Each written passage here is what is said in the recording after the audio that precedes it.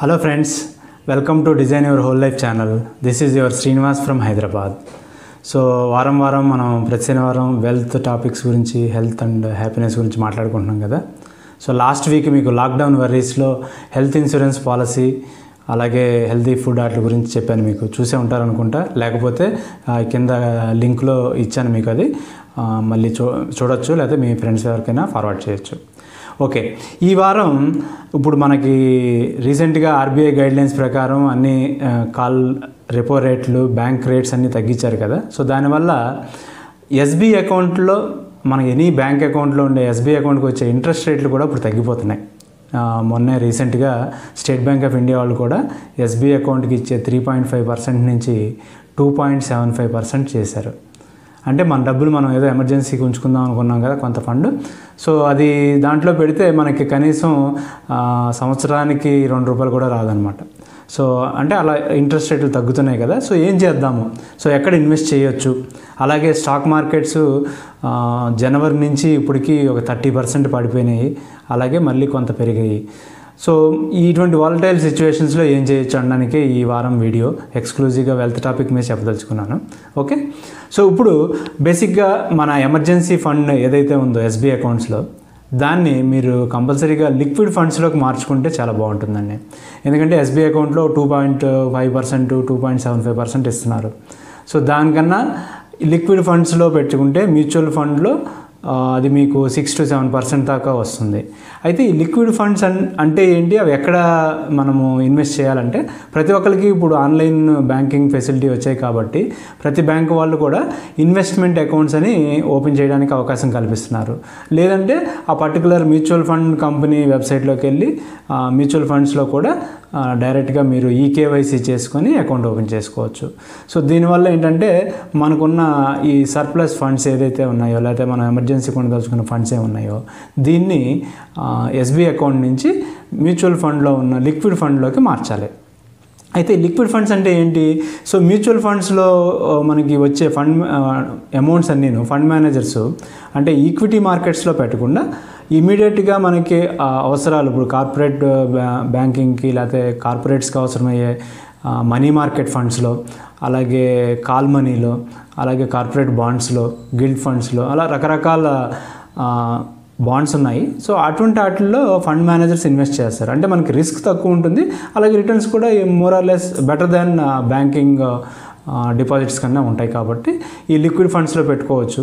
So దీంట్లో ఉన్న ఒకటే ఒకటి ప్రాబ్లం అంటే కంపేర్ టు ఎస్బీ అకౌంట్ ఏంటంటే ఎస్బీ అకౌంట్లో మనం ఇవాళ ఇప్పుడు ఎప్పుడు కావాలంటే అప్పుడు తీసుకోవచ్చు. అలా కాకుండా లిక్విడ్ ఫండ్ ఏంటంటే వన్ డే గ్యాప్తో అంటే ఇవాళ మనము మ్యూచువల్ ఫండ్ వాళ్ళకి ఇన్ఫర్మేషన్ ఇస్తే రెడెంప్షన్ సో రేపు టెన్ థర్టీ లెవెన్ కల్లా మీకు మీ ఎస్బీ అకౌంట్లోకి ఫండ్స్ వచ్చేస్తాయి. అంటే మనం ఎమర్జెన్సీ కొంత అట్లీస్ట్ ఎస్బీలో ఒక మంత్ కావాల్సింది ఉంచుకున్న ఓ ఫోర్ ఫైవ్ మంత్స్ సరిపడా మనం పెట్టుకునే అమౌంట్ని మార్కెట్ ఫ్లక్చువేషన్స్ మనకి ఇబ్బంది లేకుండా ఉండేటట్టు ఈ లిక్విడ్ ఫండ్స్లో పెట్టుకోవడం చాలా మంచిది. సో దానివల్ల మీకు సెవెన్ పర్సెంట్ సిక్స్ పర్సెంట్ దాకా వచ్చే అవకాశాలు ఉన్నాయన్నమాట. అయితే ఏ ఫండ్స్లో పెడతాము? ఇప్పుడు మనం స్పెసిఫిక్గా అనుకుంటే ఐసిఐసిఐ ప్రొడెన్షియల్ వాళ్ళది లిక్విడ్ ఫండ్ బాగానే ఉంటుందండి. అలాగే నిపాన్ మ్యూచువల్ ఫండ్స్ అంటే రిలయన్స్ కంపెనీది మ్యూచువల్ ఫండ్ కంపెనీ ఉండేది. దాన్ని ఇప్పుడు జపనీస్ కంపెనీ నిపాన్ వాళ్ళు టేక్ ఓవర్ చేసుకున్నారు. అందుకని దాన్ని నిపాన్ లైఫ్ మ్యూచువల్ ఫండ్స్ అంటారు. సో దాంట్లో లిక్విడ్ ఫండ్స్లో ఇన్వెస్ట్ ఇన్వెస్ట్ చేసుకోవచ్చు. సో అలాగే హెచ్డిఎఫ్సి ఎనీ మ్యూచువల్ ఫండ్స్ మీకు ఆల్రెడీ అకౌంట్స్ ఎక్కడ ఉన్నాయో చూసుకొని అన్ యావరేజ్ అందరూ six six point five percent మధ్యలో రిటర్న్స్ ఉంటాయి. సో మనకి ఏంటంటే షార్ట్ టర్మ్ ఒక three months to six months అవసరం పడే ఫండ్స్ని మాత్రమే మీరు ఈ లిక్విడ్ ఫండ్స్లో పెట్టుకోండి. ఎందుకంటే అంతకన్నా ఎక్కువ రిటర్న్స్ రావు కాబట్టి. సో ఈ six percent seven percent better than SB account కదా త్రీ పర్సెంట్ కన్నా. కాబట్టి లిక్విడ్ ఫండ్స్లో ఇన్వెస్ట్ చేసుకోండి. ఇకపోతే ఇప్పుడు మార్కెట్ ఫ్లక్చుయేషన్స్ బాగా మార్కెట్ కొలాప్స్ అయింది. సో ఇప్పుడు మళ్ళీ మార్కెట్ రివైవ్ అవ్వడానికి అంటే ఈ లాక్డౌన్ అయిపోయిన తర్వాత మళ్ళీ కార్పొరేట్స్ అన్నీ అలాగే ఇండస్ట్రీస్ అన్నీ ఓపెన్ చేసి మళ్ళీ మన ఎకానమీ పుంజుకునే లోపున మన ఇన్వెస్ట్మెంట్స్ ఎక్కడ ఇన్వెస్ట్ చేసుకోవచ్చు అనుకుంటే ఇండెక్స్ ఫండ్స్ అండి. ఎందుకంటే మీరు అందరూ అంటే అందరము మనము అన్ని కంపెనీల గురించి ఇప్పుడు చదువుకోలేము ఇప్పుడున్న పరిస్థితులు తెలియదు సో దానికన్నా బెటరు ప్యాసివ్ ఫండ్స్ అంటారు ఈ ఇండెక్స్ ఫండ్ అంటే. అంటే మనము కానీ మ్యూచువల్ ఫండ్ మేనేజర్ కానీ దాని గురించి పెద్దగా ఇన్వెస్ట్ చేసే టైం కానీ ఏమి ఉండదు.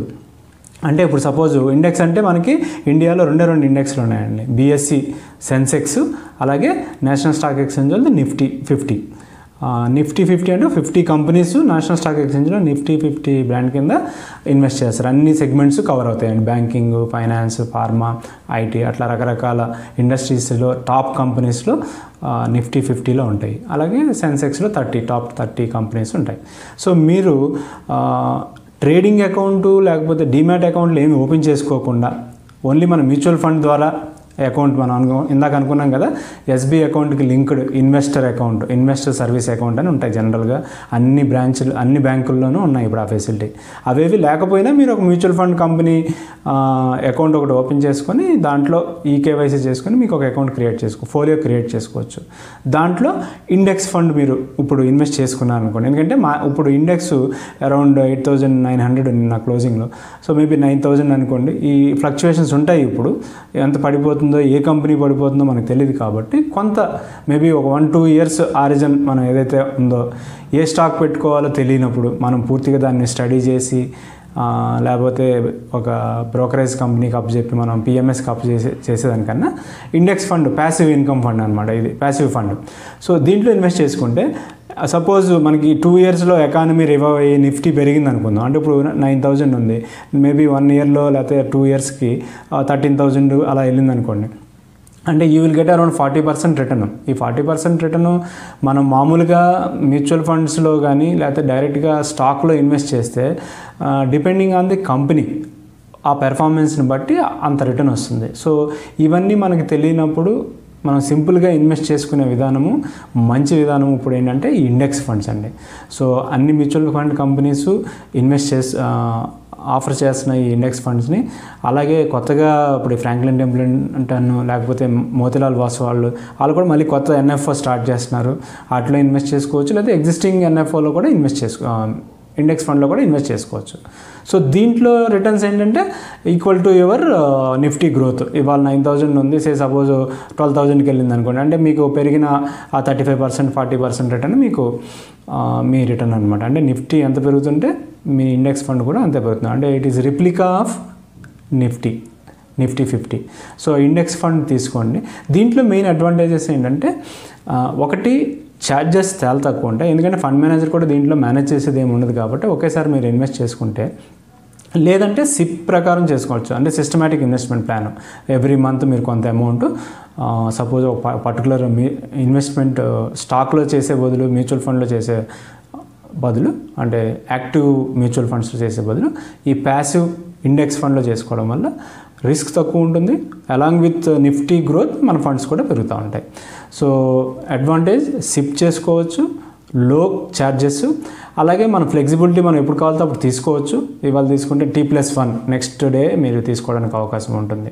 సో ఇవ్వండి ఇండెక్స్ ఫండ్స్ అలాగే ఎక్స్చేంజ్ ట్రేడెడ్ ఫండ్స్ అని ఇచ్చాము. అంటే ఈ ఈటీఎఫ్ ఏంటంటే ఇవి కూడా ఇండెక్స్ రిలేటెడ్ కంపెనీస్లోనే ఇన్వెస్ట్ చేస్తాయి. కాకపోతే మీరు కంపల్సరీగా ఒక బ్రోకరేజ్ అకౌంట్ ఓపెన్ చేసుకోవాలి. Stock brokerage account demat account open చేసుకోవాలి. మీ బ్యాంక్కి లింక్ చేసుకోవాలి. అంటే ట్రేడింగ్ అకౌంట్ అనమాట ఇది చేసుకుంటే స్టాక్ ఎక్స్చేంజ్లో మీరు ఎలా అయితే షేర్లను కొని అమ్ముతూ ఉంటారో అలాగే ఈ ఎక్స్చేంజ్ ట్రేడెడ్ ఫండ్ అంటే ఒక పర్టికులర్గా మేబీ నిఫ్టీ ఫిఫ్టీ లేకపోతే నిఫ్టీ నెక్స్ట్ ఫిఫ్టీ ఇట్లా ఫండ్స్ ఇండెక్స్ ఇండెక్స్ ఉన్నాయి కదా వీటిల్లో మనము ఒక లంసమ్ అమౌంట్ ఇన్వెస్ట్ చేసుకోవచ్చు. అవి ట్రేడ్ అవుతూ ఉంటుంది. ఈ రోజు ఎప్పుడు కావాలితే అప్పుడు మనము ఎగ్జిట్ అవ్వడానికి అవకాశం ఉంటుంది. వేరే ఇందాక చెప్పినట్టు ఇండెక్స్ ఫండ్ ఏంటంటే దాని వాల్యూ డే ఎండ్కి డిక్లేర్ చేస్తారు. అంటే ఎన్ఏవి సో వేరేజ్ ఈటీఎఫ్ ఏంటంటే స్టాక్ ప్రైస్ లాగే ఈటీఎఫ్ ప్రైస్ ఫ్లక్చువేట్ అవుతూ ఉంటుంది డే టు డేలో కాబట్టి మీరు ఏ రేట్లో ఇన్వెస్ట్ చేయాలన్నా ఏ రేట్లో అమ్మాలన్నా మీకు అది అవకాశం ఉంటుంది ఈటీఎఫ్స్ ఈటీఎఫ్స్ కూడా మరీ ఫుల్ యాక్టివ్ ఫండ్స్ ఏం కాదు మ్యూచువల్ ఫండ్స్ లాగా. బట్ గ్రూప్ ఆఫ్ స్టాక్స్ మనం ఏదైతే నిఫ్టీ ఫిఫ్టీ కానీ లేకపోతే ఇండెక్స్లు ఉన్నాయి కదా ఫార్మా ఇండెక్స్ అని లేకపోతే డిఫరెంట్ బ్యాంక్ ఇండెక్స్ అని. సో మీరు స్టడీ చేసి మీకు అనుకున్న దాంట్లో మీరు పెట్టదలుచుకున్నప్పుడు మనకు రిస్క్ తక్కువ ఉండి అలాగే ఛార్జెస్ తక్కువ ఉండి లాంగ్ టర్మ్ ఇన్వెస్ట్ చేద్దాం అనుకున్నప్పుడు ఈటీఎఫ్లోకి ఇన్వెస్ట్ చేసుకోవచ్చండి. Exchange traded funds. సో మీకు మార్కెట్లో ప్రతి ఆల్మోస్ట్ అన్ని mutual fund companies ETFs release చేసాయి అవన్నీ నిఫ్టీలో ట్రేడ్ అవుతున్నాయి నేషనల్ స్టాక్ ఎక్స్చేంజ్లో. మీరు దాన్ని పర్టికులర్గా సెలెక్ట్ చేసుకొని మీరు బై చేసుకోవచ్చు. సో అవండి ఈ వారం మీకు చెప్పదలుచుకున్నవి. Liquid fund for very short term maybe three to six months. అలాగే ఇండెక్స్ ఫండ్ ప్యాసివ్ ఫండ్ అనమాట సో మీరు ఒక one to two years horizon పెట్టుకొని ఇన్వెస్ట్మెంట్ పీరియడ్ మనమేమి దాని గురించి వరీ అవ్వకుండా నిఫ్టీ ఎలా పెరుగుతుంటే అలా పెరుగుతాయి మనం. ఆ కంపెనీ ఎలా ఉంటుంది దాని పెర్ఫార్మెన్స్ ఏంటి కంపెనీలో ఏమైనా ప్రాబ్లమ్స్ ఉన్నాయా ఇవన్నీ స్టడీ చేయాల్సిన అవసరం లేదు. నిఫ్టీ మీద భరోసా పెట్టి మీరు ఇండెక్స్ ఫండ్లో పెట్టుకోవచ్చు. ఈటీఎఫ్ ఇందాక చెప్పినట్టుగా ఎక్స్చేంజ్ ట్రేడెడ్ ఫండ్ సో ఎన్ఎస్సిలో మనం బ్రోకింగ్ అకౌంట్ ద్వారా చేసుకునేవి సో మీ మనీని జాగ్రత్త చేసుకోండి ఎక్కువ రిటర్న్ వచ్చే అవకాశం చూసుకోండి. వీటన్నిటికీ ట్యాక్స్ యాజ్ ఇట్ ఈస్గా అన్ని long term capital gain short term capital gain ట్యాక్స్లు యాజ్ పర్ రూల్స్ అన్ని అప్లికబుల్ మనకు వచ్చే రిటర్న్ మీద. బట్ ఓన్లీ థింగ్ ఈజ్ అంటే మనము బ్యాంకులో పెట్టుకునే దానికన్నా కొద్దిగా బెటర్ రిటర్న్స్ వచ్చే అవకాశాలు. అవండి. మరి మరికొన్ని ఇన్వెస్ట్మెంట్ ఆప్షన్స్తో నెక్స్ట్ వీక్ కలుద్దాం మరి. Thank you for watching my video. అలాగే ప్రతి వారం నా శనివారం నా వీడియోలు చూడండి సబ్స్క్రైబ్ చేయండి మీ ఫ్రెండ్స్ అందరు కూడా షేర్ చేయండి. Thank you very much.